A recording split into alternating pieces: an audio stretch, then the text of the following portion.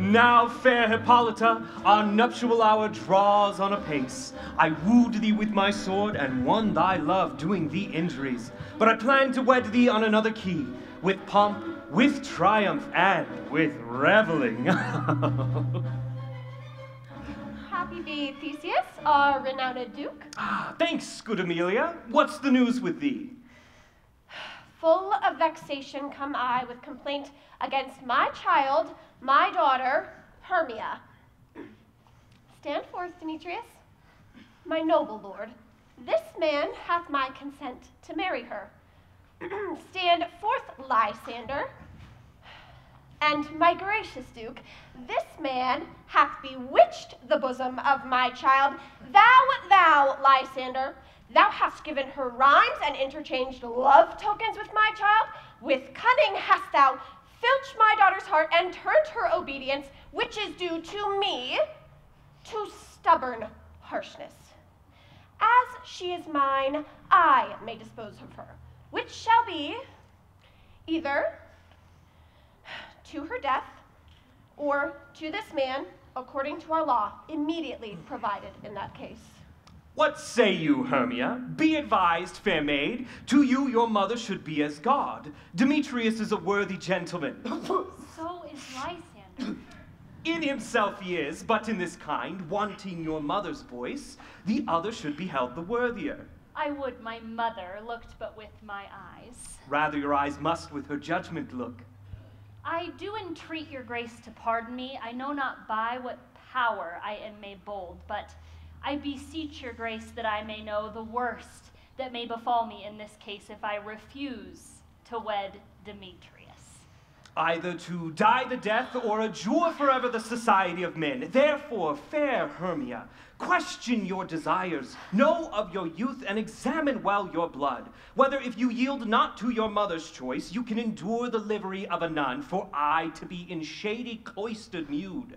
So I will grow so live, so die, my lord, ere I will yield my virgin patent up unto his lordship, whose unwished yoke my soul consents not to give sovereignty. Take time to pause, and by the next new moon, on that day, either prepare to die for disobedience to your mother's will, or wed Demetrius. Relent, sweet Hermia, and Lysander, relinquish thou crazed title to my certain right. You have her mother's love, Demetrius. Let me have Hermia's. Do you marry her? Scornful Lysander.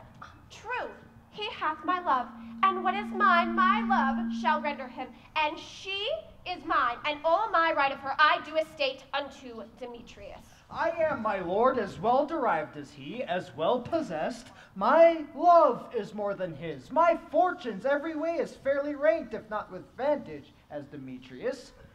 But which is more than all these boasts can be, I am beloved of beauteous Hermia. Why should not I then prosecute my right? Demetrius, I'll avouch it to his head, made love to Nedar's daughter Helena, and won her soul. And she, sweet lady, dotes devoutly dotes, dotes in idolatry upon the spotted and inconstant man. I must confess I have heard so much, and to have Demetrius spoke thereof, but overfull with self-affairs, my mind did lose it. Fair Hermia, look you arm yourself to fit your fancies to your mother's will, or the law of Athens yields you up to death, or to vow a single life. Come, Hippolyta, what cheer, my love?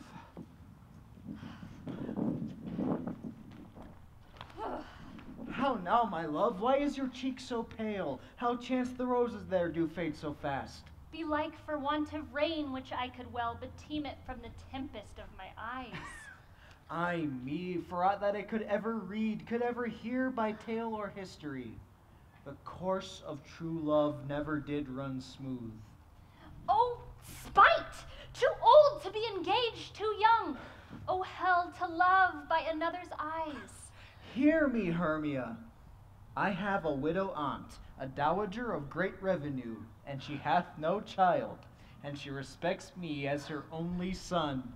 If thou lovest me, then steal forth thy mother's house tomorrow night, and in the wood, a league without the town, there will I stay for thee. My Lysander, I swear to thee by Cupid's strongest bow, by his best arrow with the golden head, by the simplicity of Venus's doves, which knitteth souls and prosper loves, in that same place thou hast appointed me. Tomorrow truly I will meet with thee. Keep promise, love. Oh, Look, here comes Helena. Godspeed, fair Helena, whither away? Call you me fair? Oh, happy fair! Demetrius loves oh. your fair. Oh, that fair again, unsay. My ear should catch your voice, my eye, your eye, my tongue should catch your tongue, sweet melody. Were the world mine, Demetrius, being baited the rest I give to be you, translated. Oh, teach me how to look, and by what art you sway the motion of Demetrius's heart. I frown upon him, yet he loves me still. Oh, that your frowns could teach my smiles such skill. I give him curses, yet he gives me love. Oh, that my prayers could such affection move! The more I hate him, the more he follows me. The more I love him, the more he hateth me! His folly, Helena, is no fault of mine. None but your beauty. Would that fault were mine! Take comfort. He shall no more see my face. Lysander and myself shall fly this place. Did Lysander see, seemed Athens a paradise to me. Oh, then what graces in my love do dwell, that he hath turned a heaven unto a hell. Helen, to you our minds we will unfold. Tomorrow night, when Phoebe doth behold her silver visage in the watery glass, decking with liquid pearl the bladed grass, a time that lovers' flights doth still conceal, through Athens' gates have we devised to steal. And in the wood where often you and I upon faint primrose beds were wont to lie, emptying our bosoms of their counsel sweet, there Lysander and myself shall meet. Farewell, sweet playfellow, and pray thou for us. Good luck, grant thee thy Demetrius. Keep word, Lysander, for we must starve our sight from lovers' food till morrow deep midnight. I will, my Hermia. Helen, adieu, as you on him, Demetrius dote on you. Oh, how happy some or other some can be. Through Athens I am thought as fair as she. But what of that? Demetrius thinks not so. He will not know what all but he do know. And as he errs, doting on Hermia's eyes, so I, admiring of his qualities. Things base and vile, holding no quantity, love can transpose to form and dignity. Love looks not with the eyes, but with the mind, and therefore is winged Cupid painted blind. For ere Demetrius looked on Hermia's eyes, he hailed down oath that he was only mine. And when this hail some heat from Hermia felt, so he dissolved, and showers of oaths did melt. I will go tell him of fair Hermia's flight, and then to the wood tomorrow night will he pursue her. Oh, for this intelligence, if I have thanks, it is a dear expense, but herein mean I to enrich my pain, and, and have his sight thither and back again.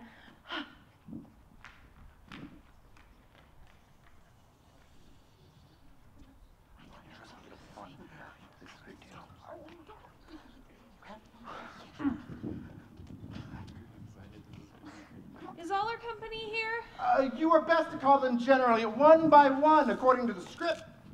Uh, here is the scroll of everyone's name, which is thought fit to play in our interlude before the Duke and Duchess on his wedding day at night. Well, first, good Petra Quince, uh, say what the play treats on. Then read the names of the actors. You'll so grow to a point. Mary, our play is the most lamentable comedy and most cruel death of Pyramus and Thisbe. A very good piece of work, I assure you. And a merry. Now, good Petra Quince, uh, call forth your actors by the scroll. Players, spread yourselves. Answer as I call you. Nick Bottom the Weaver, Ready? Name what part I am for and proceed. uh, you, Nick Bottom, are set down for Pyramus. What is Pyramus? Is he a lover? Or a tyrant? A lover who kills himself most gallant for love. Well, that will ask some tears in the true performing of it. If I do it, let the audience look to their eyes. I will move storms. Uh, Francis. The raging rocks and the shivering shocks shall break the locks of prison gates. Francis. And Phoebus's car shall shine from far and make and mar those foolish fates. this was lofty. Well, name the rest of the players. Francis Flute, the bellows bender. Here, Petra Quince. Flute, you must take Thisbe on you. Hmm. Who is Thisbe? A wandering knight? It is the lady that Pyramus must love.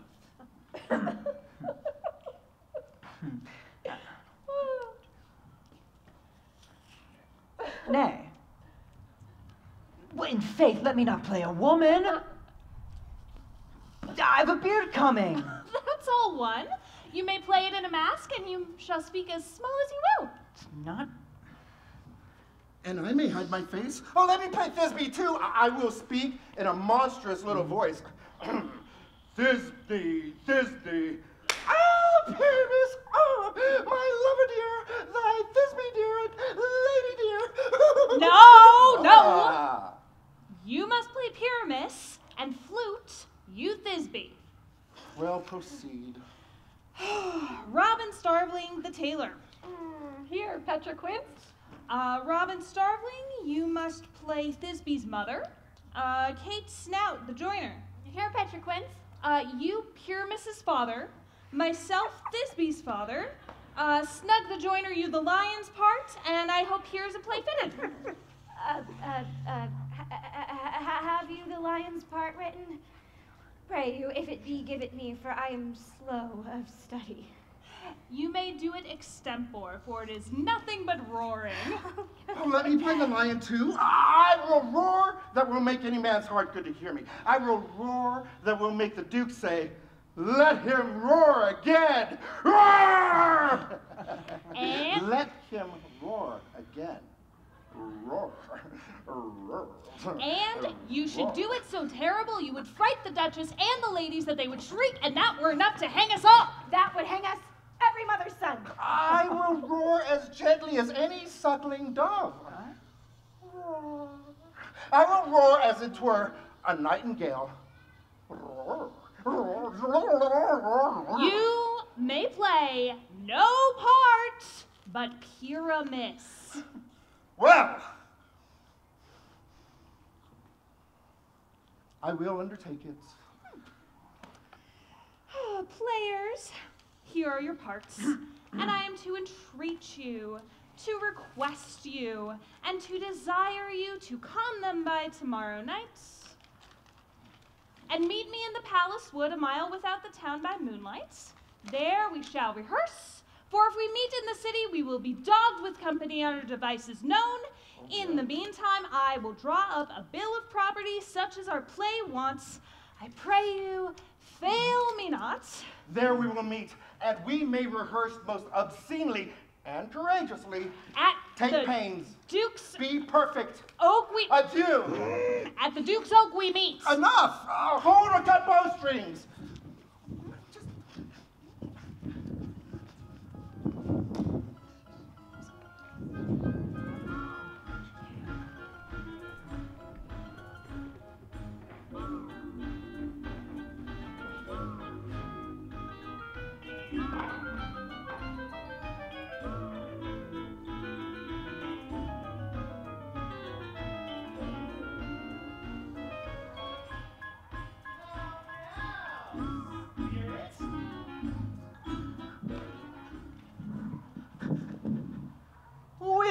Wander you? Over hill, over dale, through brush, through briar, over park, over pale, through flood, through fire. I do wander everywhere, swifter than the moon's sphere, and I serve the fairy queen. To do her orbs upon the green, the cowslips tall, her pensioners be. In their gold coats spots, you see, those be rubies fairy favors. In those freckles live their savors. I must go, seek some dewdrops here, and hang a pearl on every cowslip's ear. Farewell, thou blob of spirits. I'll be gone. Our queen and all her elves shall come here anon. Ah, uh, the king!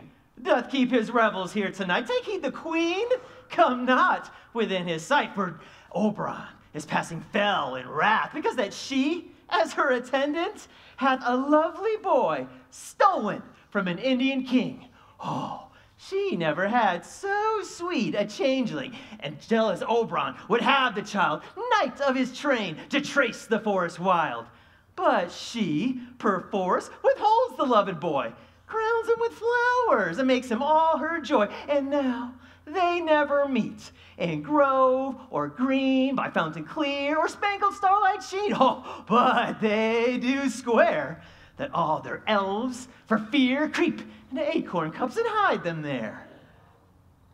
Either I mistake your shape in making quite. Or else you are that shrewd and knavish sprite. Called Robin Goodfellow, are not you he that frights the maidens of the villagery? Skim milk and sometimes labor in the quern, and bootless makes the breathless housewife churn. And sometimes make the drink to bear no barm. Misleads night wanderers, laughing at their harm. Those that hobgoblin call you and sweet Puck. You do their work, and they shall have good luck. Are not you he? Thou speakest aright. oh, I am that merry wanderer of the night. I jest to Oberon and make him smile when I a fat, bean-fed horse beguile, neighing in likeness of a filly foal. oh, sometimes lurk I in a gossip's bowl in the very likeness of a roasted crab. And when she drinks, against her lips I bob, and on her with her dewlap pour the ale.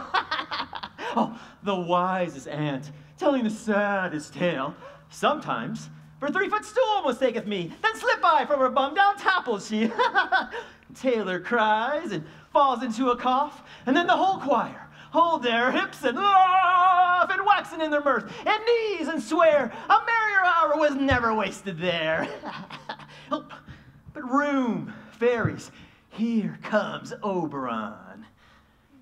Here come my mistress. Would that he were gone. Ill met by moonlight, proud Titania. What?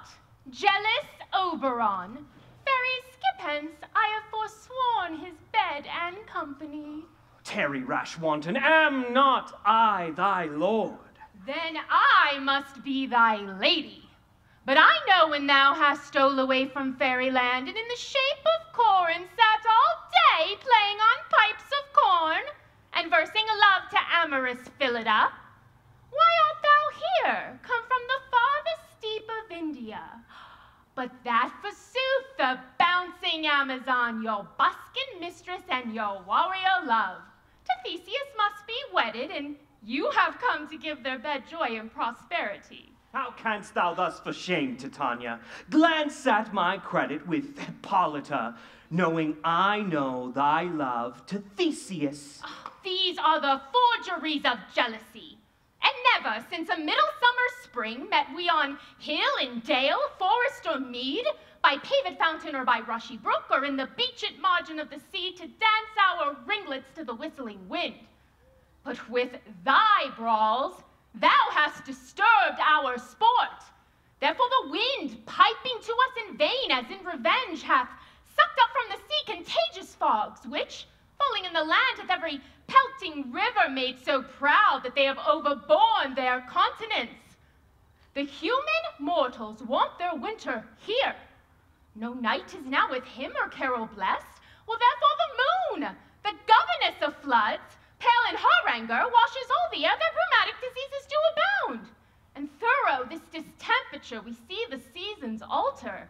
The spring, the summer, the childing autumn, the angry winter, change their wonted liveries, and the mazed world by their increase now knows not which is which. And this same progeny of evils comes from our debate, from our dissension. We are their parents and original. Do you amend it then? It lies in you. Why should Titania cross her Oberon? I do but beg a little changeling boy to be my henchman. Set your heart at rest. The fairyland buys not the child of me. His mother was a votress of my order. And in the spiced Indian air by night, full often hath she gossiped by my side and sat with me on Neptune's yellow sands, marking the embarked traders on the flood, when we have laughed to see the sails conceive and grow big bellied with the wanton wind. But she, being mortal, of the boy did die. And for her sake do I rear up her boy, and for her sake I will not part with him. How long within this wood intend you stay? Perchance till after Theseus' wedding day, if you will patiently dance in our round and see our moonlight revels, go with us. If not, shun me, and I will spare your haunts. Give me the boy, and I will go with thee. Oh, not for thy fairy kingdom. Fairies away. We shall chide down right if I longer stay. My gentle Puck, come hither. Fetch me that flower, the herb I showed thee once, whose juice laid on sleeping eyelids will make or man or woman madly dote on the next live creature that it sees. Bring me this herb, and be thou here again ere the Leviathan can swim a league. I'll put a girdle round about the earth in 40 minutes. Having once this juice, I'll watch Titania as she sleeps and drop the liquor of it in the, her eye. The next thing then she waking looks upon, she shall pursue with the soul of love. ah, but who comes here? I am invisible, and I will overhear this conference. I love thee not, therefore pursue me not. Where is Lysander and fair Hermia? The one I'll stay, the other stayeth me.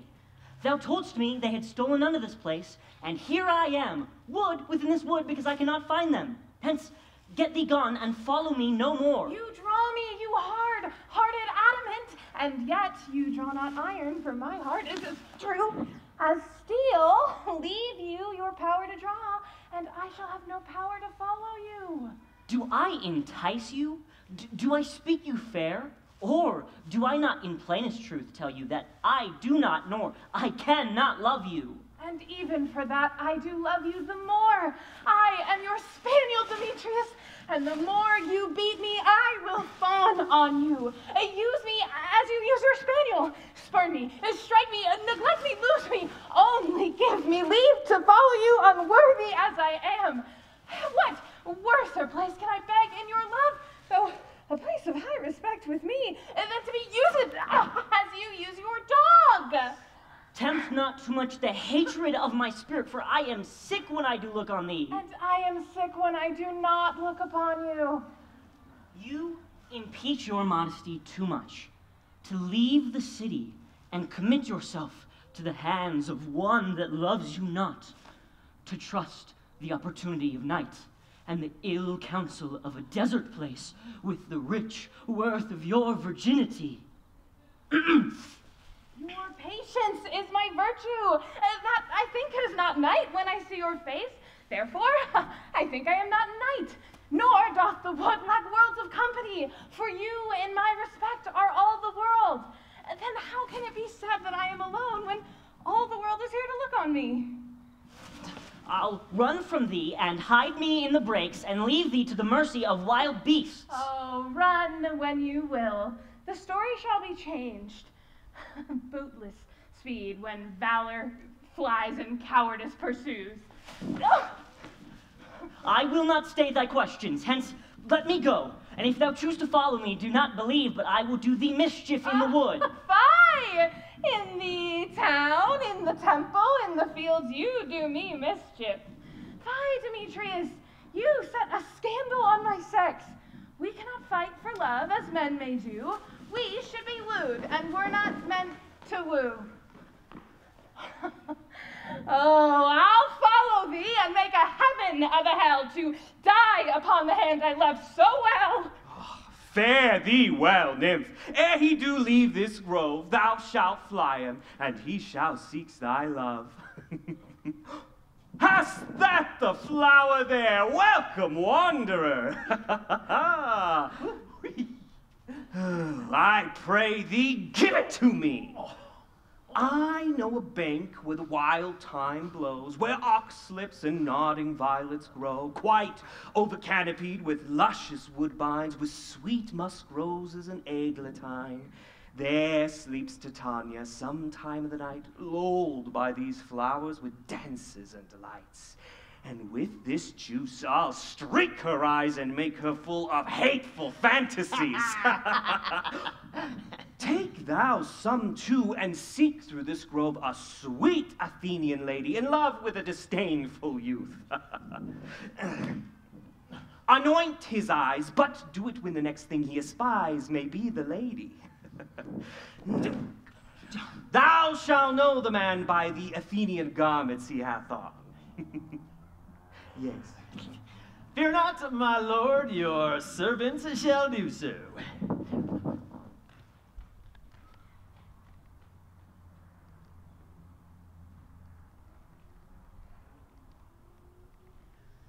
Come now, roundel, sing me now to sleep, then to your offices and let me rest.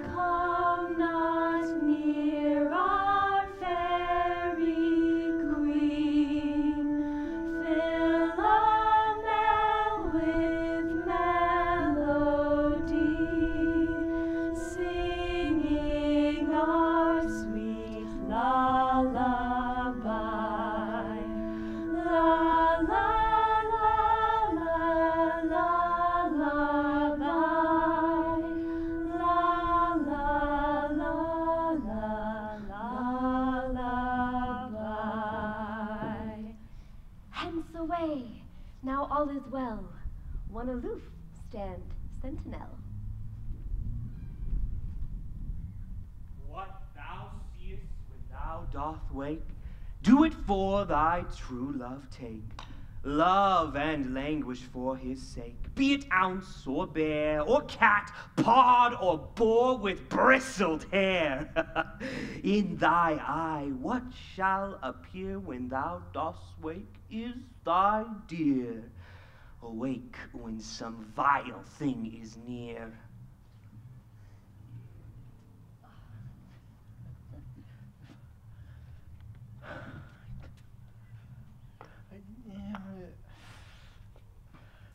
Fair love, you faint with wandering in the wood, and to speak troth I have forgot our way. We'll rest us, Hermia, if you think it good, and tarry for the comfort of the day. Be it so, Lysander. Find you a bed. For upon this bank I will rest my head. Uh, uh, one turf shall serve as pillow for us both. One heart, one bed, two bosoms, and one troth. Nay, good Lysander, for my sake, dear, lie further off yet. Do not lie so near. Oh, take the sense, sweet, of my innocence. Love takes the meaning in love's conference.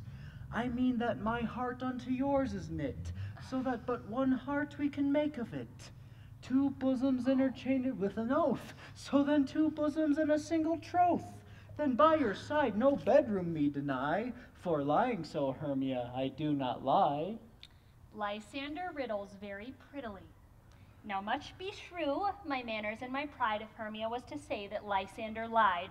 But, gentle friend, for love and courtesy, lie further off yet in human modesty. Such separation, as well may be said, becomes a virtuous bachelor and maid. So far, be distant, and good night, sweet friend. Thy love never alter till thy sweet life end. Amen, amen to that fair prayer say I, and end life when I end loyalty. Here is my bed. Sleep give thee all his rest. With half that wish, the wisher's eyes be pressed.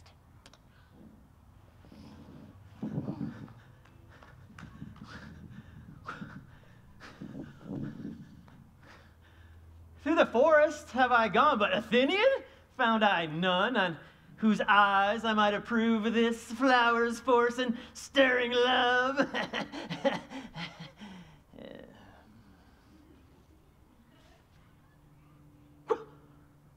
Night and silence, who is here?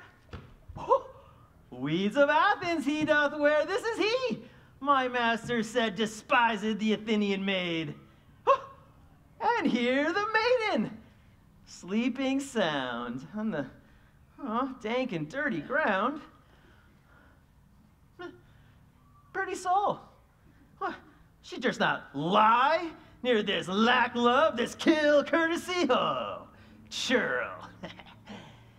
Upon thy eyes I throw all the power this charm doth owe. When thou wakes, let love forbid, sleep his seat on thy eyelid. So awake when I'm gone, for I must now to Oberon. Stay, though thou kill me, sweet Demetrius. I charge thee hence, and do not haunt me thus. What? Wilt thou darkling leave me? Do not so! Stay. On thy peril. I alone will go. Whew! I am out of breath in this fond chase. The more my prayer, the lesser is my grace. But who is here? Lysander on the ground? Dead or asleep? I see no blood, no wound. Uh, Lysander, if you live, good sir, awake.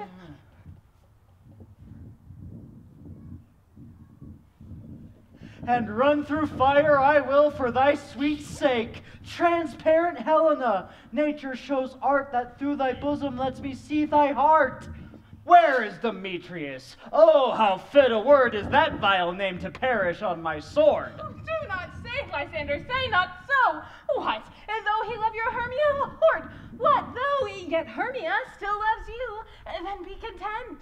Content with Hermia? No, I do repent the tedious minutes I with her have spent. Not Hermia, but Helena I love.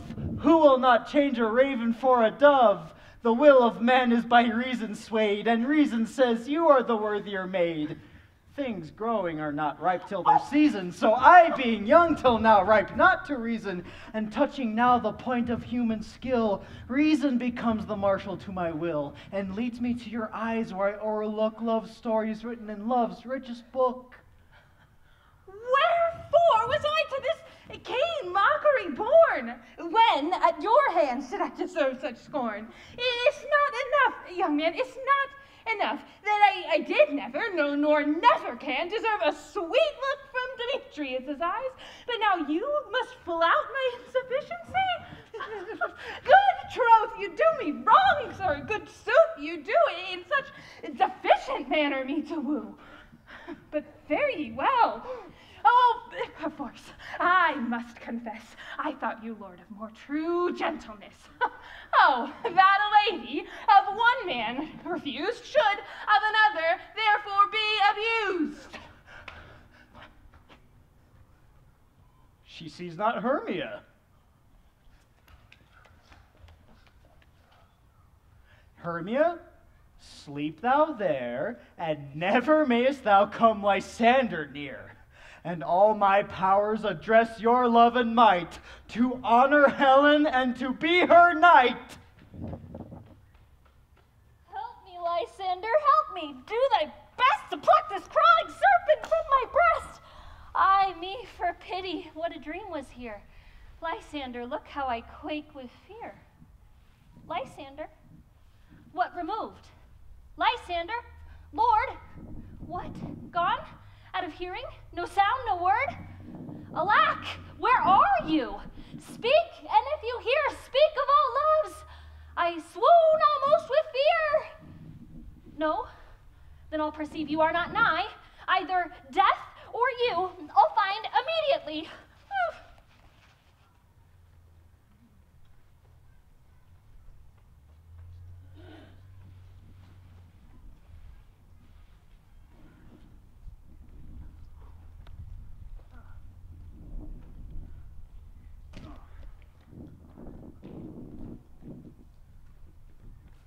Are we all met? Oh, pat, pat. Ah, and here's a marvelous convenient place for our rehearsal. We will do it in action as we will do it before the Duke. Uh, Petra-Quince, What sayest thou, bully bottom? there are some things in this comedy of Pyramus Thisbe that we'll never do. Uh, first, Pyramus must draw a sword to kill himself, which the ladies cannot abide. How answer you that? By'r lakin, a parlous fear. I do believe we must leave the killing out when all is done. Oh, not a whit. I have a device to make all well. Write me a prologue, and let the prologue seem to say that we will do no harm with our swords, and that Pyramus is not killed indeed. And for the better more assurance, let them know that I, Pyramus, am not Pyramus, but Bottom, the weaver. This will put them out of their fear. Well, we will have such a prologue, and it will be written in eight and six. No, uh, make it two more. Let it be written in eight and eight. Will not the ladies be afeard of the lion? uh, I fear it, I promise you. Uh, players, we got to consider with ourselves to bring in. God shield us. A lion amongst the ladies is a most dreadful thing, for there is not a more fearful wild fowl than your lion living, and we ought to look to it. Therefore, another prologue must tell she is not a lion. Oh, nay. Uh, we must name her name, and half of her face must be seen through the lion's neck, uh, where she will speak through, saying thus, or to the same defect of uh, ladies, or, or fair ladies. Um, I would wish you, or uh, I would entreat you, or I would request you. Not to fear, not to tremble, my life for yours. If you think I come hither as a lion, twere pity on my life. Nay, I am no such thing. I am a person as other people are. And there let her name her name, and tell them plainly that she is snug, the joiner. Uh, well, it shall be so. But there's two hard things. That is to bring moonlight into a chamber, for you know Pyramus and Thisbe meet by moonlight. Doth the moon shine that night we play our play? A, a calendar. A calendar. Look in the almanac. Uh, find out moonshine. Find out moonshine. Ah. Yes, it doth shine that night. Why, then we may leave a casement of the great chamber window where we play our play open, and the moon may shine in at the casement.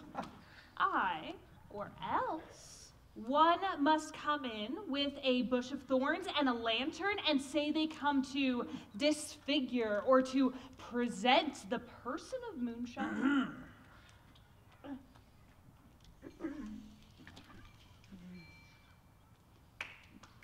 and then there is another thing. We must have a wall in the great chamber, for Pyramus and Thisbe says the story did talk through the chink of a wall. Oh, you can never bring in a wall. What say you, Bottom? Someone or other must present Wall and let her have some uh, plaster or some loam or some rough cast about her to signify Wall, and let her hold her fingers uh, thus. And through this cranny shall Pyramus and Thisbe whisper. Hmm. Well, if that may be, then all is well. Come sit you down, every mother's child, and rehearse your parts. Pyramus, you begin. Once you've spoken your speech, enter into that break, and so everyone according to their cue. What heaven homespuns have we swaggering here? So near the cradle of the fairy queen?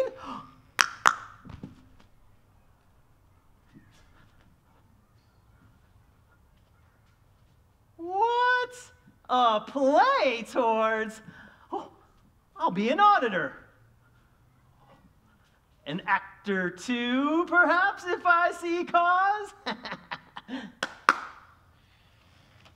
Pyramus, speak. Thisbe stand forth. Thisbe, the flowers of odious savor sweet. Odors, odors. odors, savor sweet. So hath thy breath, thy dearest Thisbe dear, but heart, a voice, stay but here a while, and by and by I will to thee appear. A stranger Pyramus than e'er played here. Must I speak now? Yes, Must you, for you must understand, he goes but to see a noise that he has heard and is to come again. Mo- hmm? most noble Pyramus, most lily white of hue, of color like the red rose on triumphant briar, most brisky juvenile and eke, most lovely Jew, the truest, truest horse that yet would never tire. I'll meet the Pyramus in Ninny's tomb. Ah, Ninus too, man. You must not speak that yet. That you must answer to Pyramus. You speak your part all at once. Use it all. oh. Pyramus, enter. Your cue is past. It is never tire. As true as truest Taurus that yet would never tire. If I were fair, fair Thisbe, I were only thine. Ah! Oh, monstrous! Oh, strange! We're haunted! Brave players! Blind players! Help!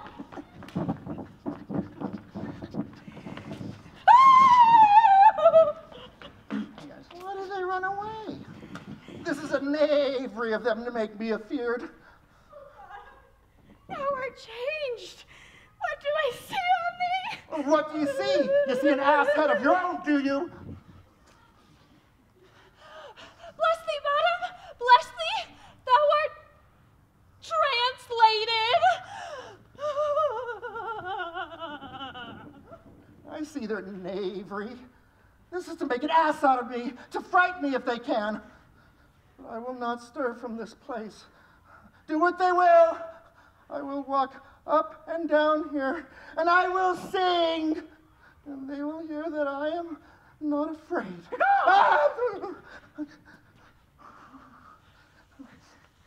The ousel cock so black of hue, with orange tawny bill. The throstle with his nose so true, the wren with little quill.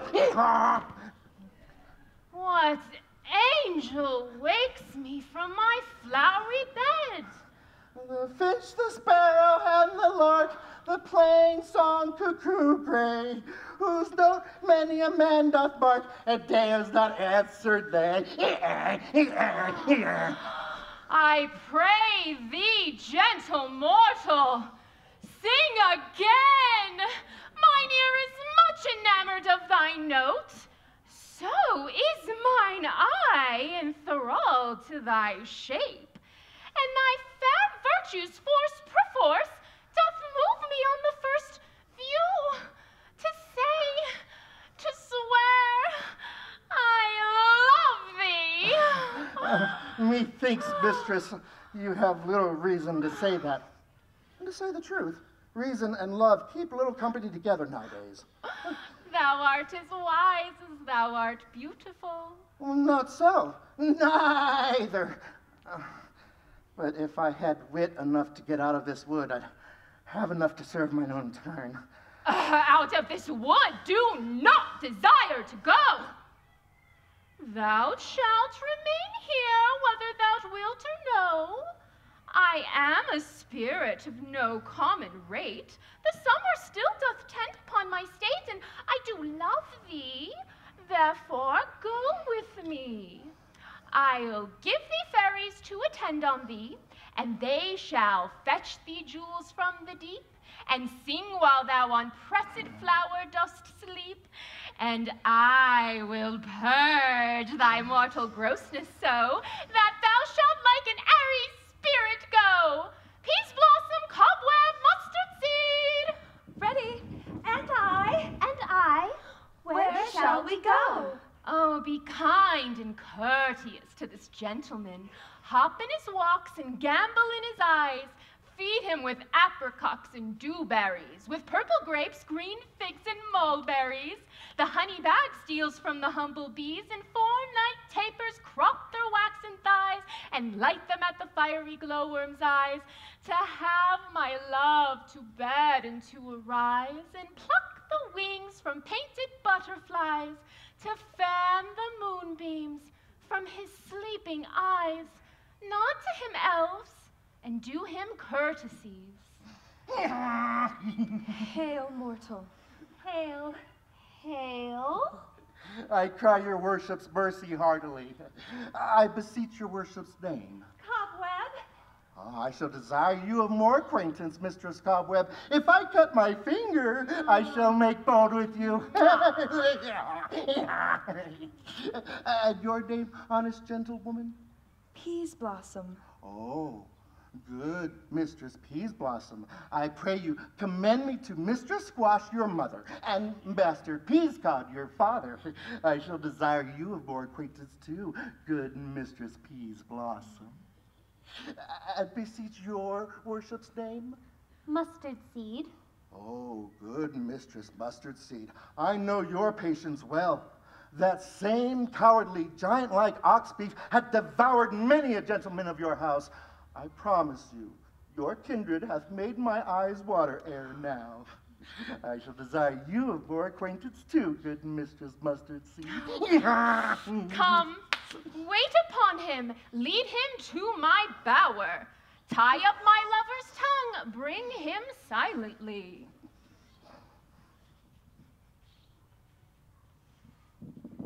I wonder if Titania be awakened, Then what next came in her eye that she must dote on in extremity? Oh, here comes my messenger. How now, mad spirit? What night rule in this haunted grove? Ah, my mistress with a monster is in love.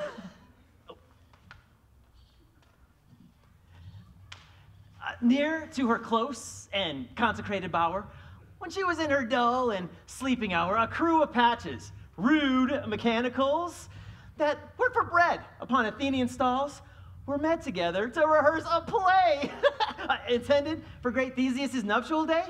The shallowest, thick-skinned of that barren sort who Pyramus presented in their sport forsook his scene and entered into break, where I did him at this advantage take.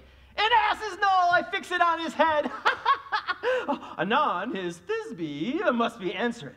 And forth, my mimic comes, when they him spy, sever themselves, and madly sweep the sky. So at his sight away his fellows fly. And at our sight, here over and over one falls. He murder cries, and help from Athens calls. Their sense, thus weak, lost with their fear, thus strong, made senseless things begin to do them wrong. I led them on in distracted fear and left sweet Pyramus translated there. When in that moment, so it came to pass, Titania waked and straightway loved an ass. this falls out better than I could have devised. But hast thou yet latched the Athenian's eyes with the love juice as I did bid thee do? I took him sleeping, that is finished too, and the Athenian woman by his side. So when he waked to force, she must be eyed. Stand close, this is the same Athenian. Oh, oh, this is the woman. But this not the man. Oh, why rebuke you, he who hates you so. Lay breath so bitter on your bitter foe. Now I but chide, but I should use thee worse. For thou, I fear, hast given me cause to curse. If thou hast slain Lysander in his sleep, bring shoes in blood, plunge in the deep, and kill me too. The sun was not so true unto the day as him to me. Would he have stolen away from sleeping Hermia? It cannot be, but thou hast murdered him. So should a murderer look, so dead, so grim. So should the murdered look, and so should I, pierced through the heart by your stern cruelty. Yet you, the murderer, look as bright and as clear as yonder Venus in her glimmering sphere. What's this to my Lysander? Ah, good Demetrius, will thou give him me? I would rather give his carcass to my hounds. Out, dog! Out, cur! Thou drift'st me past the bounds of maiden's patience. Hast thou slain him then? Henceforth be never numbered among men. Oh, once, tell true, tell true, even for my sake.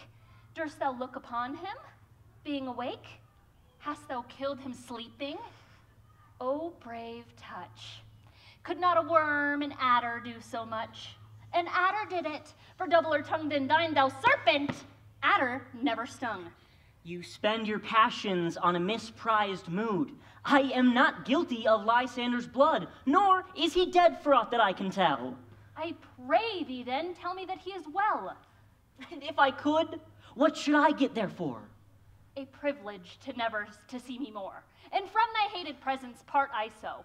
See me no more, whether he be dead or no.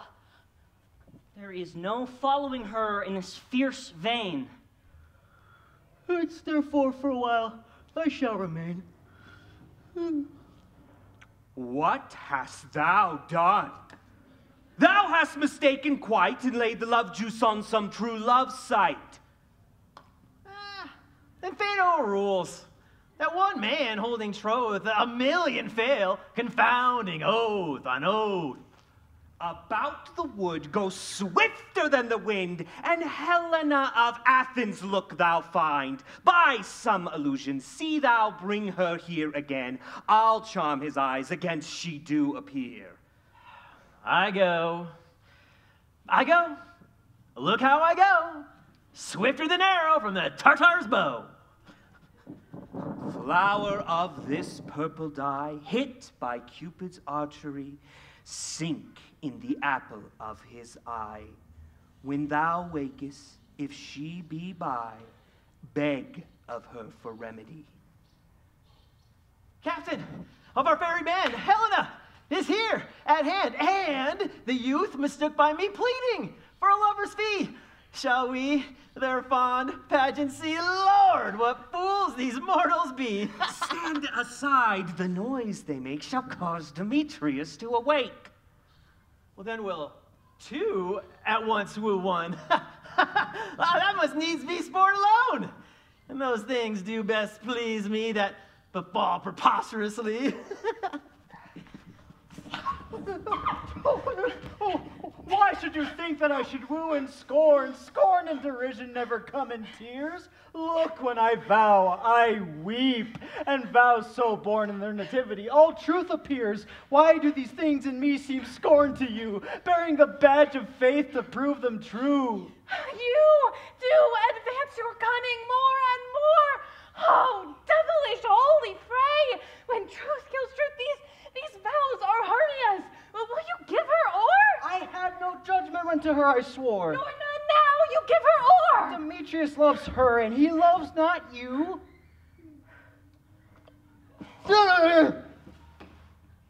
Oh, Helen, goddess, nymph, divine. Oh! To what, my love, should I compare thine eye?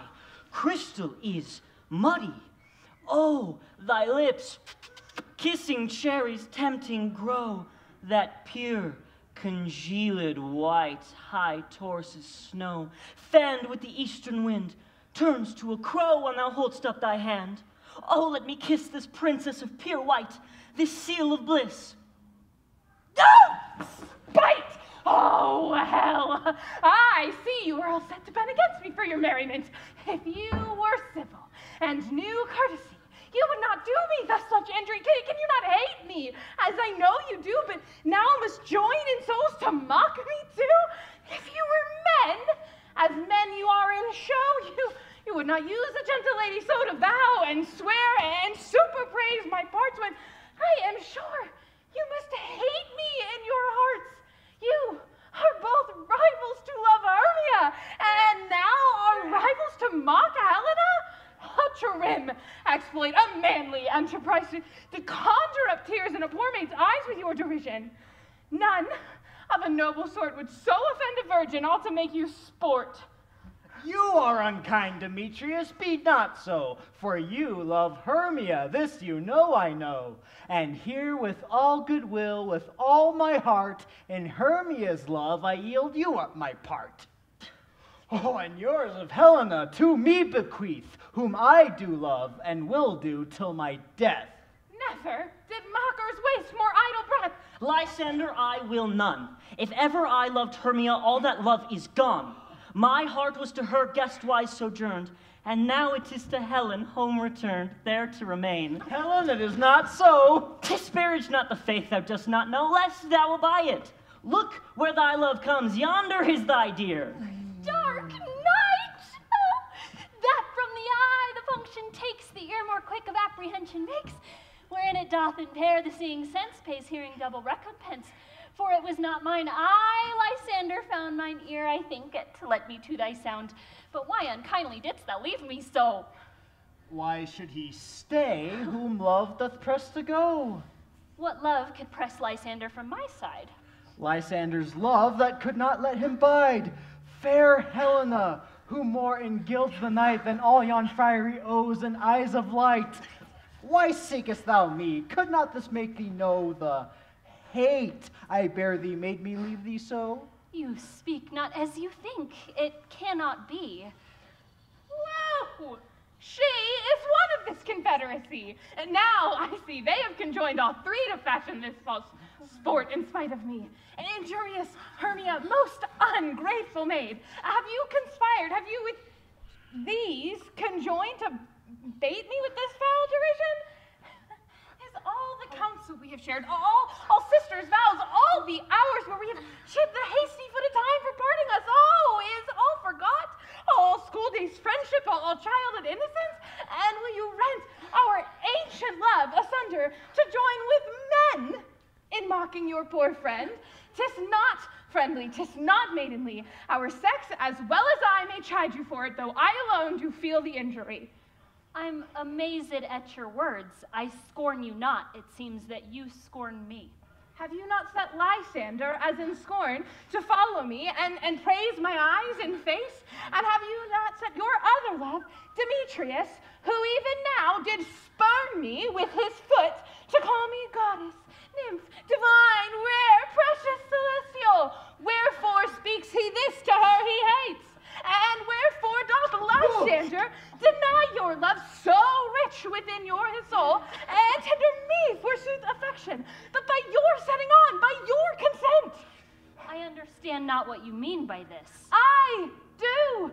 Uh, persever, counterfeit, sad looks, make mouths at me when I turn my back, wink at each other, hold the sweet jest up. This sport, well carried, shall be chronicled, but fare ye well, tis partly my own fault, which death or absence soon shall remedy. Stay, gentle Helena, and hear my ah. excuse, my love, my life, my soul, fair Helena. Oh, excellent. Do not scorn her so. If she cannot entreat, I can compel. Thou canst compel no more than she entreats. Ah. Thy threats have no more strength than her weak prayers.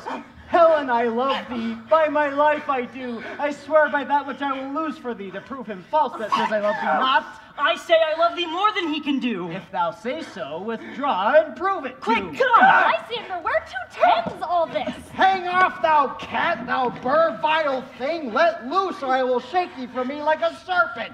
What change is this? Why do you why are you grown so rude, sweet love? Thy love? Out, tawny tartar, out! Out, loathed medicine! Oh, hated potion, hence! Do you not jest? Yes, and so do you. Demetrius, I will keep my word with thee. I would I had your bond, for I perceive a weak bond holds you. I would not trust your word. What, shall I hurt her, strike her, kill her dead? Although I hate her, I will not harm her so. What? Can you do me more greater harm than hate? Hate me? Wherefore? Ah, what news is this, my love? Am, am not I Hermia? Are not you Lysander? I, by my life, and never did desire to see thee more. Therefore, be out of hope, of question, of doubt. Be certain nothing truer, tis no jest, that I do hate thee and love Helena. Ah me. You juggler, you canker blossom, you thief of love. What? Have you come by night and stolen my love's heart from him? Fine, in faith. Have you no modesty, no touch of bashfulness, no maiden shame? What? Will you tear impatient answers from my gentle tongue? Fie, fie, you counterfeit, you puppet, you. Puppet? Why so? Ah, that way goes the game. Now I perceive that she hath made compare between our statures. She hath urged her height, her personage, her tall personage, her height, forsooth, she hath prevailed with him. What? Are you grown so high in his esteem because I'm so dwarfish and low? How low am I, painted maypole? Speak. How low am I? Not yet so low that my nails can't reach unto thy eyes! Oh, gentlemen, I pray you, though you mock me, let her not harm me. I was never cursed. I have no gift at all for shrewishness. I am a right maid for my cowardness. You may think that I am something lower than myself, that I may match her. Lower? Hark again! Oh, oh, oh, oh, gentle Hermia, do not be so bitter with me.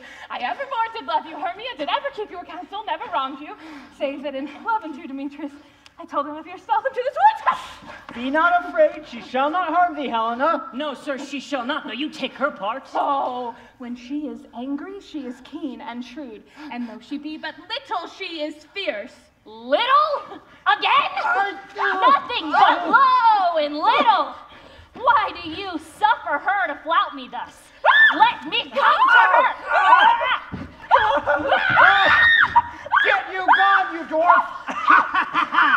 now she holds me not. Now follow if thou darest, and see of whose right of thine or mine is most in Helena. Follow? Nay, I'll go with thee cheek by jowl. You mistress, all this coil is long of you. Nay, go not back. I'll no longer trust you, nor keep your cursed company. your hands are quicker for a fray, but my legs are longer though to run away. I'm amazed and know not what to say. This is thy negligence. Uh, forgive me, King of Shadows, I mistook. Uh, Did not you tell me I should know the man by the Athenian garments he had on? And so far, blameless proves my enterprise that I anointed in Athenians' eyes. So far, am I glad it so did sort. Is this their jangling eye esteem a sport? Thou seest these lovers seek a place to fight. Ere therefore, Robin, overcast the night and lead these testy rivals so astray as one come not within another's way, till o'er their brows death counterfeiting sleep with laden legs and batty wings doth creep. Then crush this herb into Lysander's eyes, whose juice hath this virtuous property, to take thence all air of his might, and make his eyeballs rule with wonted sight. And then, when they awake, all this derision shall seem a dream and fruitless vision. Whilst I in this affair do thee employ, I'll to my queen and beg her Indian boy, and then I will from charmed eye release, from monster's view, and all things shall be peace. Up and down. Up and down. I will lead them up and down. I am feared in field and town. God will lead them up and down. Ooh, here comes one. Where art thou, proud Demetrius? Speak thou now. Here, villain, drawn and ready. Where art thou? I will be with thee straight. Oh, follow me then to Pointer Ground. Lysander, speak again. Thou runaway, thou coward. Art thou fled? Where dost thou hide thy head? In some bush?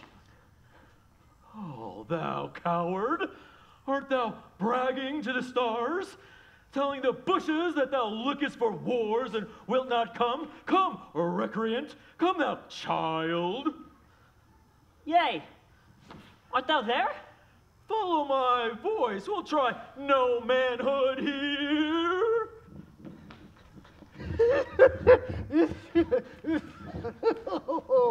he goes before me and still dares me on. When I come where he calls, then he is gone.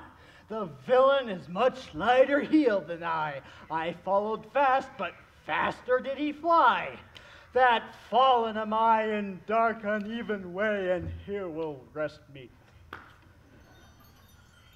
Ho, ho, ho, coward! Why comest thou not? Abide me if thou darest, for well I wot. Thou'st run before me, shifting every place, neither to stop nor look me in the face.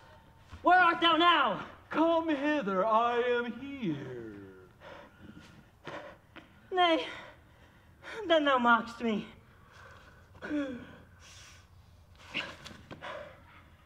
But by this, if ever I thy face by daylight see, Hmm.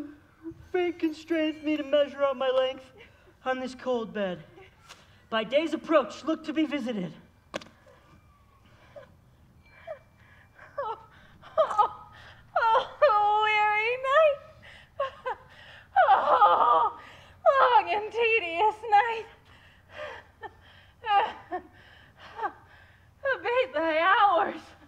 And sleep that sometimes shuts up sorrow's eyes. Steal me from my own company a while.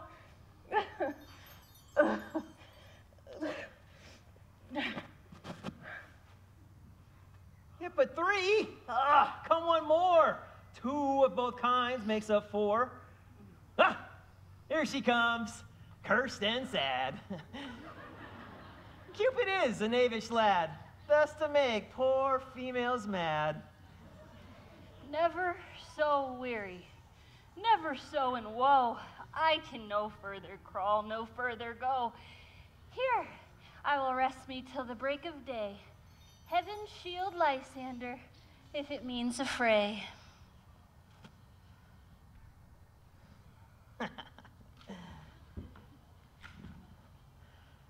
On the ground, sleeping sound, I'll apply to your eye, gentle lover, remedy. When thou wakes, thou takes sweet delight in the sight of thy former lady's eye. And the country proverb known that every man should take his own. In your waking shall be shown. Jack shall have Jill.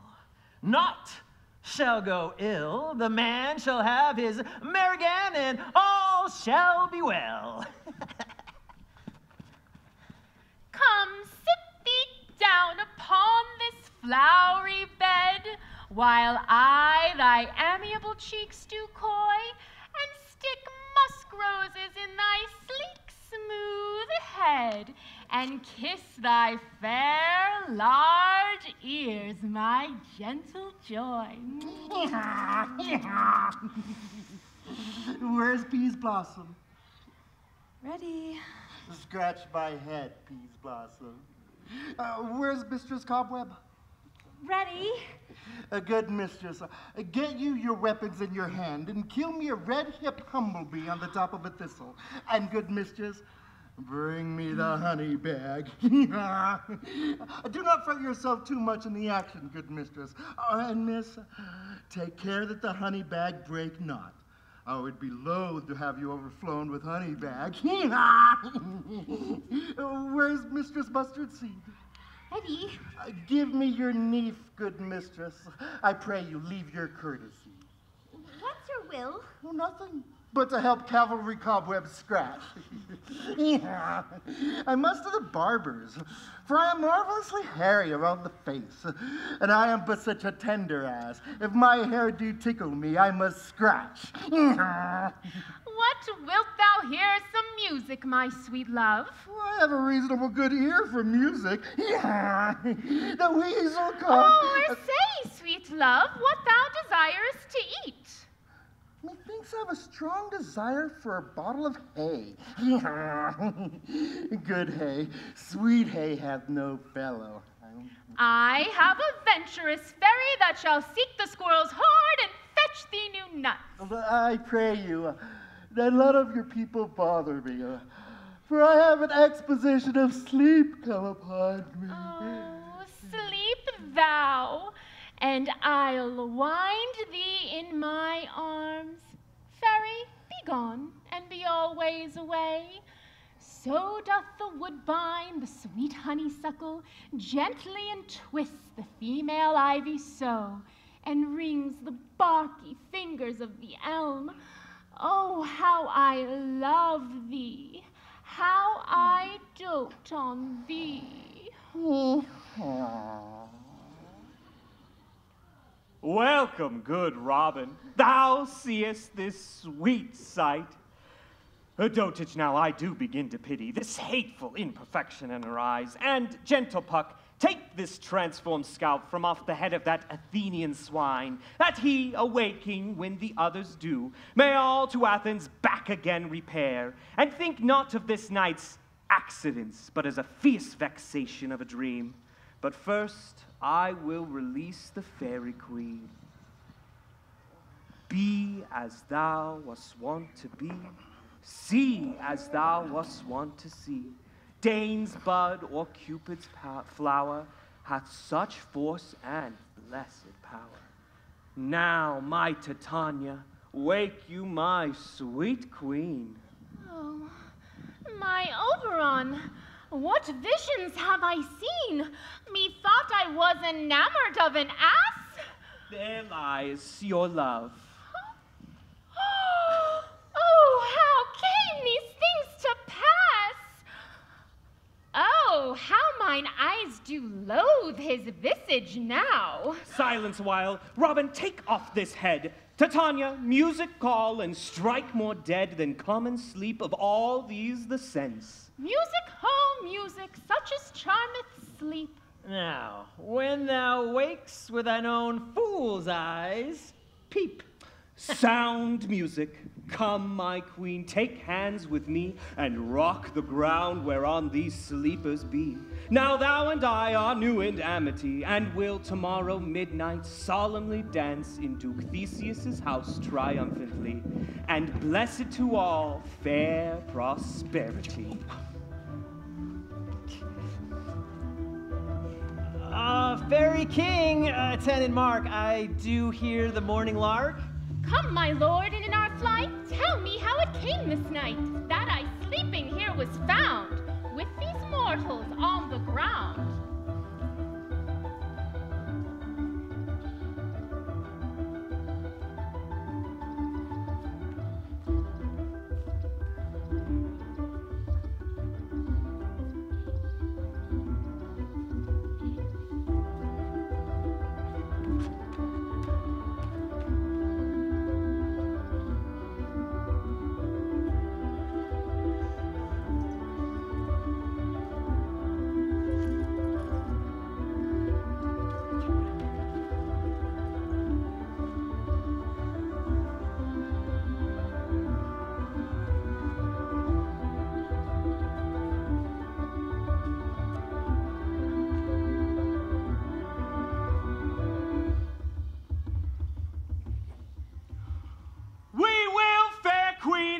The mountain tops to mark this musical confusion with hounds and echoes in conjunction.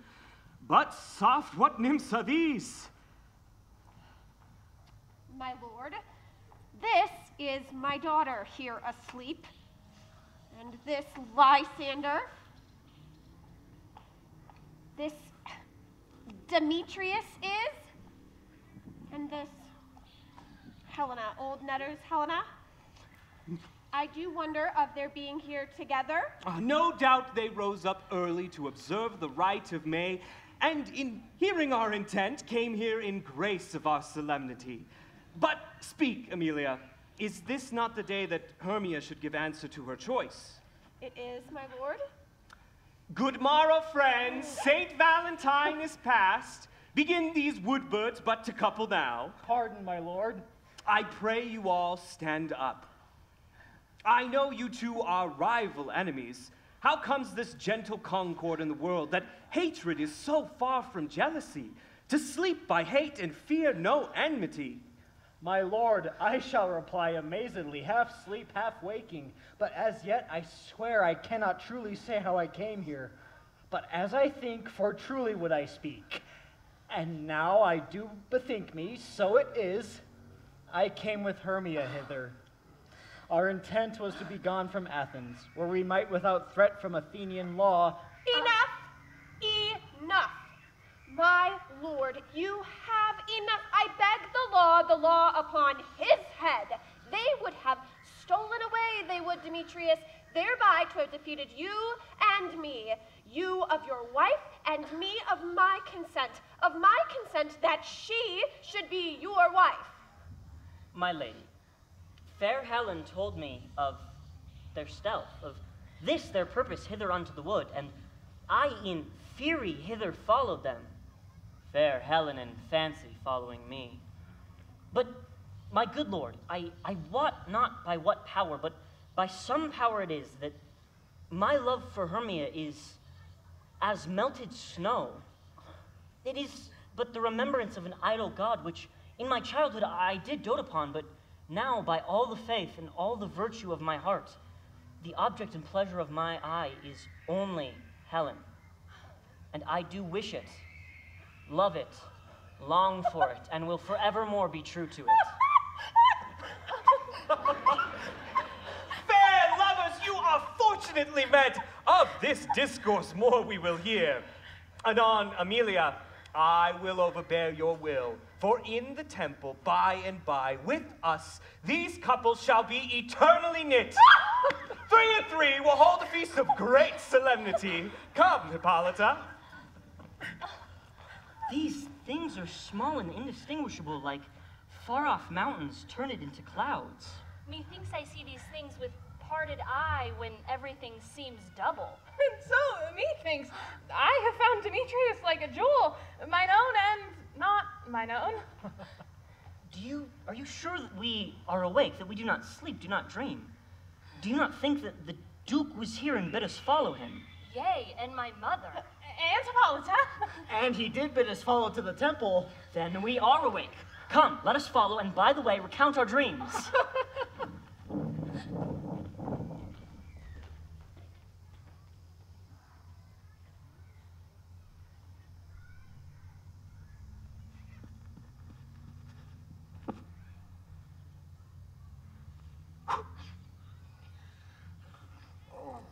When my cue comes, call me and I will answer. My next is most fair Pyramus. Hey ho! Petra Quince! Flute the bellows mender! Snout the tinker! Starveling? God's my life stolen hence and left me asleep. I have had a most rare vision. I have had a dream. Past the wit of man to say what dream it was. Man is but an ass if he go to expound this dream. He thought I was. Man cannot say what me thought I was. But me thought I had.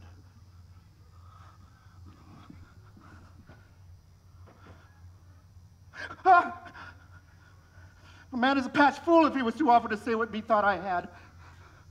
The ear of man hath not seen, the eye of man hath not heard, or, or his hand to taste, or his tongue to conceive, or, or even my heart to report what dream it was.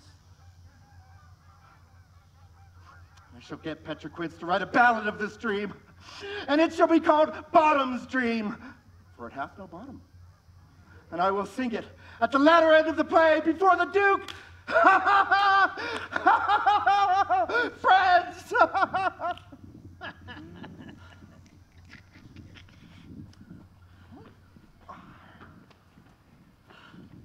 Have you sent to Bottom's house? Has he come home yet? He cannot be heard of. Out of doubt, he is transported. If he come not forth, then. then the play is marred. it go not forward, doth it? It is not possible. Ah. You have not a man in all Athens able to discharge Pyramus is he? The no, he hath simply the best wit of any man in Athens. I am the best person too, and he is a very paramour for a sweet voice. Up. You must say paragon. Uh, a paramour is, God bless us, a thing of not. Masters! The Duke is coming down from the temple. There are two or three lords and ladies more married. If our sport had gone forward, we'd have all been made men. Ah. Oh, sweet bully bottom. Oh. Where are these friends? Where are these hearts? almost courageous day, almost happy hour. I am to discourse wonders, but ask me not what, for if I tell you I am not true Athenian, I will tell you everything pat as came out. Let us hear sweet bottom. Oh, not a word of me. All I have to say is, the Duke hath dined. Well, get your apparel together. Good strings for your beards, new ribbons for your pumps. Meet it currently at the palace, and everyone look over their parts, for the long and short of it is, our play is preferred. Oh. and in any case, let Thisbe have clean linen, huh?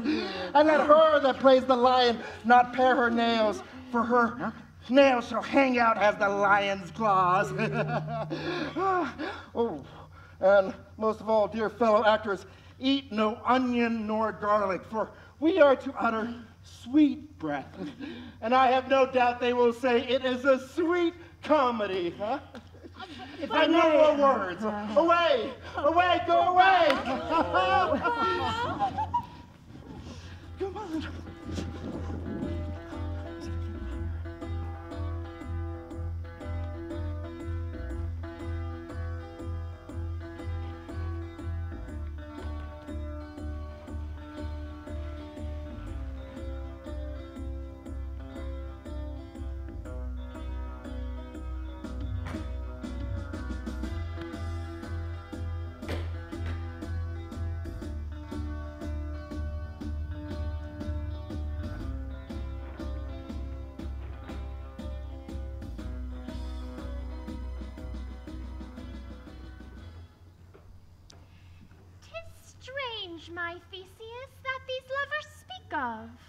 More strange than true. I may never believe these antique fables, nor these fairy toys. Such tricks have strong imaginations.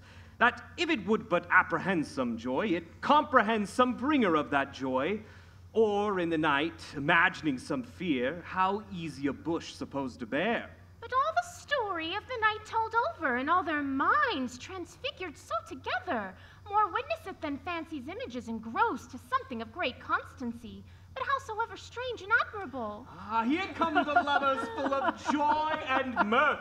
Joy, gentle friends, joy and fresh days of love accompany your hearts. More than to us wait in your royal walks, your board, your bed. Come now, what masks, what dances shall we have to waste away the long age of three hours between our after supper and bedtime? Where is our usual manager of mirth? What revel shall we have? Is there no play to ease the anguish of this torturing hour? Here, mighty Theseus. Ah, say, what abridgments have we this evening? What music, what masks shall we have? How shall we beguile this time, if not with some delight? A tedious brief scene of young Pyramus and his love Thisbe. Very tragical mirth. Merry and tragical. Tedious and brief. This is hot ice and wondrous strange snow. Go, bring them in, and ladies, take your place. So please your grace, the prologue is addressed. Gentles, perchance you wonder at this, um,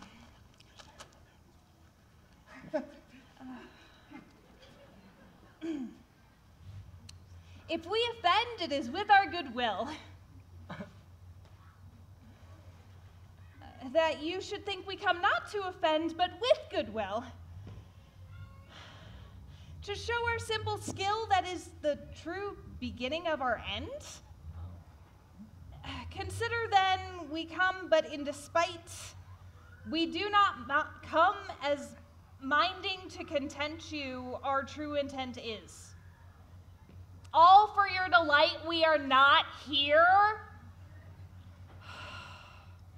That you should hear repent you. The actors are at hand, and by their show you shall know all that you are like to know. This fellow doth not stand upon points. She hath rid her prologue like a rough colt. She knows not to stop. A good moral, my lord. It is not enough to speak, but to speak true. Her speech was like a tangled chain. Who is next? Gentles, perchance you wonder at this show, but wonder on till truth make all things plain. This man is Pyramus, if you would know. This beauteous lady, Thisbe is certain. This one with lime and rough cast doth present wall, that vile wall which did these lovers sunder.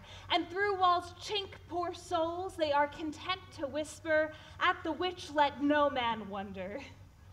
This one, with lantern, dog, and bush of thorn, presenteth moonshine, for, if you would know, by moonshine did these lovers think no scorn to meet at Ninus' tomb, there, there to woo. This grisly beast, which lion hight by name, the trusty Thisbe coming first by night, did scare away, or rather did affright. Ah. And as she fled, her mantle she did fall, which lion vile with bloody mouth did stain. Anon comes Pyramus, sweet youth and tall, and finds his trusty Thisbe's mantle slain. Whereat, with blade, with bloody, blameful blade, he bravely broached his boiling, bloody breast. And Thisbe, ah. tarrying in mulberry shade, his dagger drew and died. For all the rest, let lion, moonshine, wall, and lovers twain at large discourse, while here they do remain. Mm, I wonder if the lion be to speak. Oh, no wonder, my lord. One lion may speak when many asses do.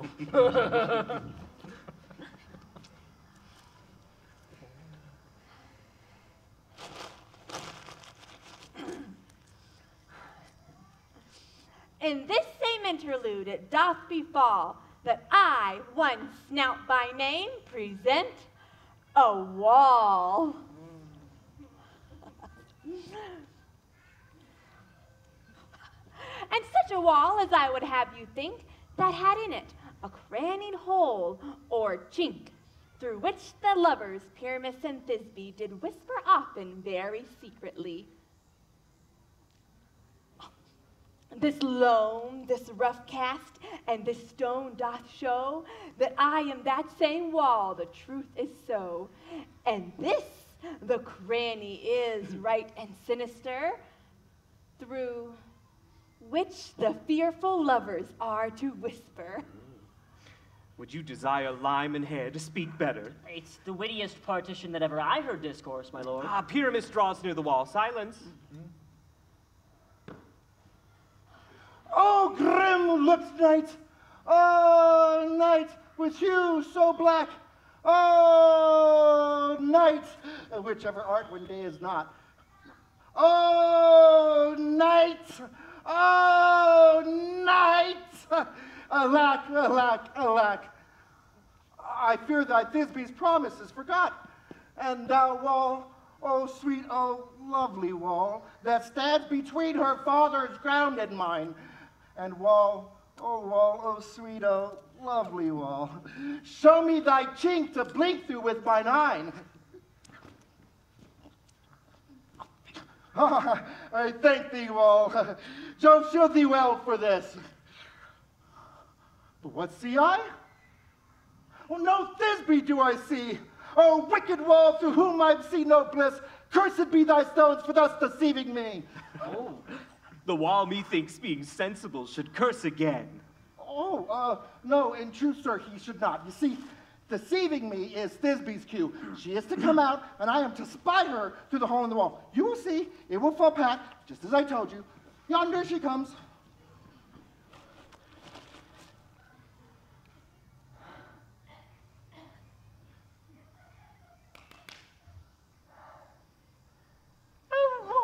Oh, full often hast thou heard my moans for parting my fair Pyramus and me. Too often have my cherry lips kissed thy stones, thy stones with lime and hair knit up in thee. I see a voice. Now will I to the chink to blink, and I may spy my Thisbe's face. Thisbe? My love. Thou art my love, I think. Think what thou wilt. I am thy lover's grace, and like Limander am I trust thee still. Oh, and I like Till the fates me kill. Not Shafalus to Procris was so true. As Shafalus to Procris, so I to you. Kiss me through the hole of this vile wall.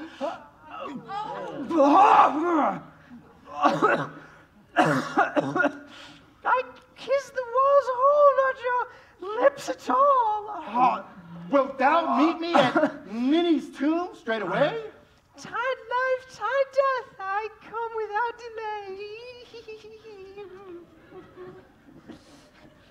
Ow! Thus have I, wall, mm. my part discharged so, and being done, thus wall away doth go.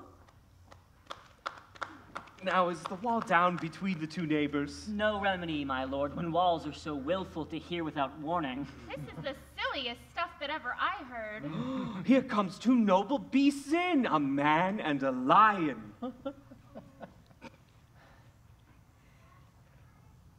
You, ladies. you whose gentle hearts you fear the smallest monstrous mouse that creeps on floor, may now perchance both quake and tremble here when lion rough and wildest rage doth roar. Roar. Then know that I, as snug the joiner am, a lion fell, nor else no lion stem. For if I do as lion come in strife into this place, twere pity on my life. A very gentle beast and of good conscience. This lion is a very fox for his valor. True, and a goose for his discretion. Not true, for his valor cannot carry his discretion, and the fox carries the goose. His discretion, I am sure, cannot carry his valor, for the goose carries not the fox. Uh, it is, well, leave it to his discretion and let us listen to the moon. Hmm.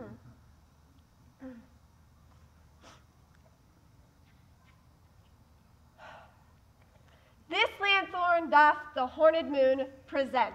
He should have worn the horns on his head. He is no crescent, and his horns are invisible within the circumference.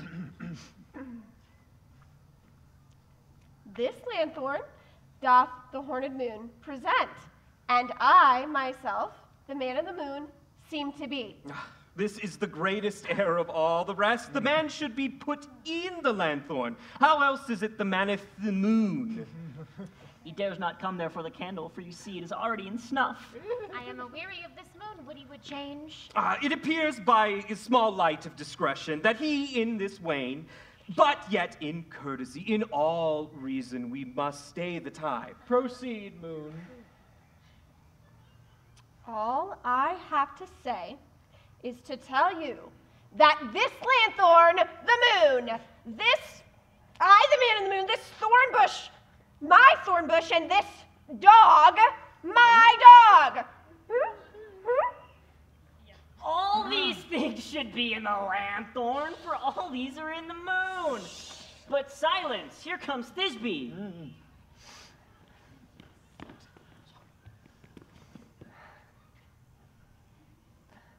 Mm. this is old Ninny's tomb. Where is my love?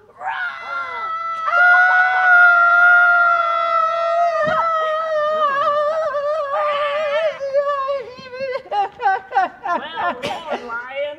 Well run, Thisbe. Well shown, Moon. Truly the moon shines with a good grace. Well moused, Lion. and then came Pyramus. And so the lion vanished. Sweet moon, I thank thee for thy sunny beams. Ah. I thank thee, moon, for shining now so bright, for by thy golden, gracious, glittering gleams, I trust to take the truest of Thisbe's sight. But stay, O spite. But mark, poor knight, what dreadful dole is here? Eyes do you see? How can it be? Oh, dainty duck, oh dear.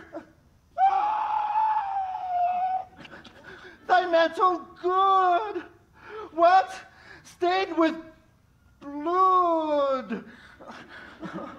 Oh, oh, ye approach, ye furies fell. Oh, fates, come, come, cut threaded thrum. Quail, crush, concluded quell. This passion and the death of a dear friend would go near to make a man look sad. Oh, be shrew my heart, but I pity the man. Wherefore didst thou lion's frame, where lion vow hath deflowered, my dear, which is no, no, which was the greatest dame that that ever lived, that loved, that liked, that looked with fear. Oh, oh, come, tears, confound! Outsword and wound the pap of Pyramus. I, the left pap, with a heart doth hop. Thus die I, thus Thus, thus. Now am I dead. Now am I fled. My soul is in the sky. Tongue, lose thy light. Moon, take thy flight. Now die! Die! Die! Die! die! No die but an ace for him, for he is but one. Less than an ace, man, for he is dead. He is nothing. Uh, with the help of a surgeon, he might yet recover and yet proven ass. How chance Moonshine is gone before Thisbe comes back and finds her lover. ah, by starlight she shall find him, and with her passion she ends the play. Oh, methinks she should not use a long one on such a Pyramus. I hope she will be brief. She has already spied him with those sweet eyes.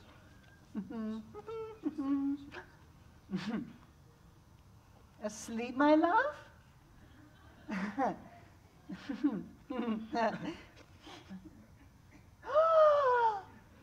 what, dead, my dove? Oh, speak, speak, quite dumb.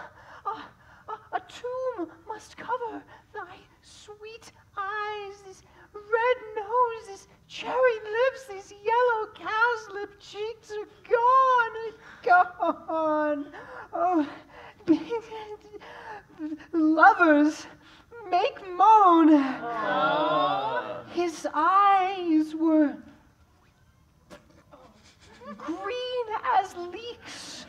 Oh, sisters three, come, come to me with hands as pale as milk. but lay them in gore, since you are sure with shears his thread of silk.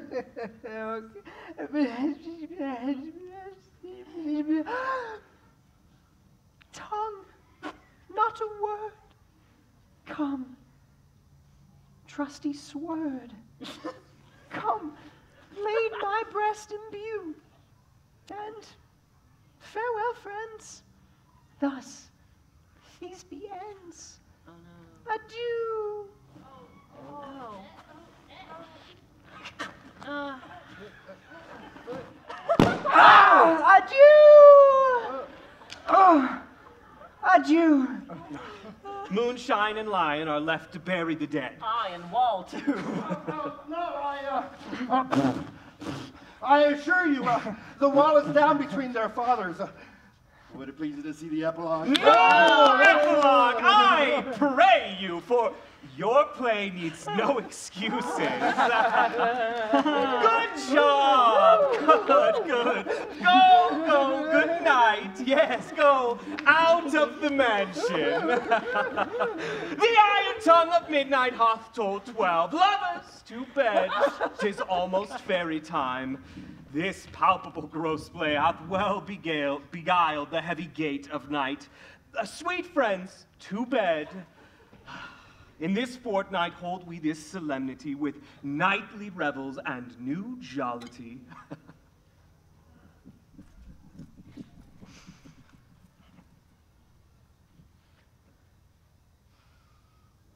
Now, the hungry lion roars, and the wolf, he howls the moon, whilst the heavy plowman snores, all with weary tasks fordone.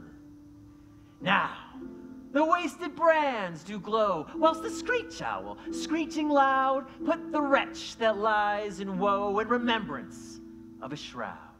Now, it is the time of night that the graves all gaping wide, everyone lets forth his sprite in the churchway paths to glide. And we fairies that do run by the triple Hecate team from the presence of the sun, following darkness like a dream, now are frolic.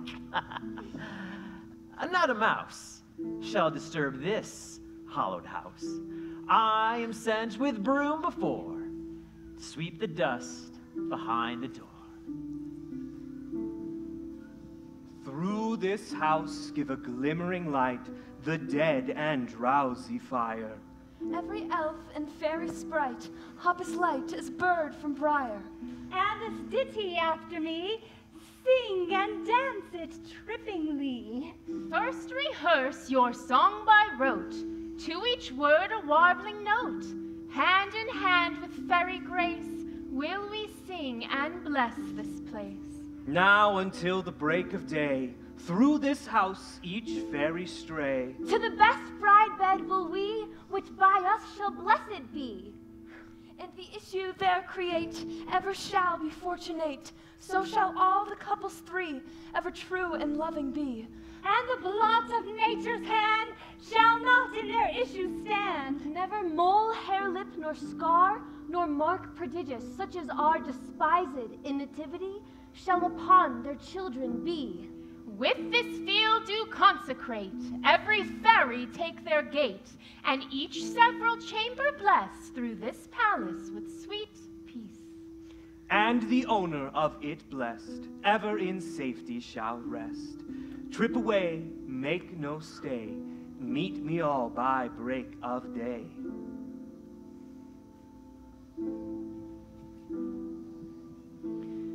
If we shadows have offended, think but this, and all is mended, that you have but slumbered here, while these visions did appear. And this weak and idle theme, no more yielding but a dream. Gentles, do not reprehend. If you pardon, we will mend. And as I am an honest puck, we have unearned luck now to escape the serpent's tongue, we will make amends ere long, else the puck a liar call. so good night unto you all. Give me your hands if we be friends, and Robin shall restore amends.